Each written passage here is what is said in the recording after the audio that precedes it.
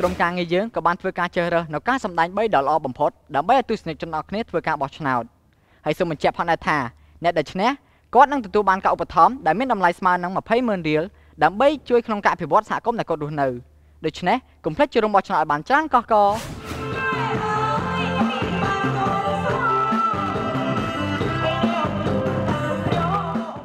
ដើម្បីបោះឆ្នោតគ្រប់គ្រងការសម្ដែងទី1សូមសរសេរសារជាអក្សរ A រួចផ្ញើសារមកកាន់លេខ 095 999 119ឬក៏097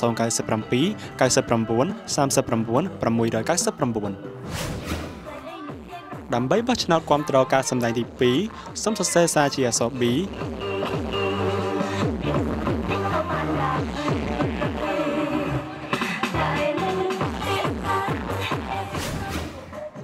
ដើម្បីបោះឆ្នោតគ្រប់គ្រងការសម្ដែងទី3សូមសរសេរសារជាអក្សរ C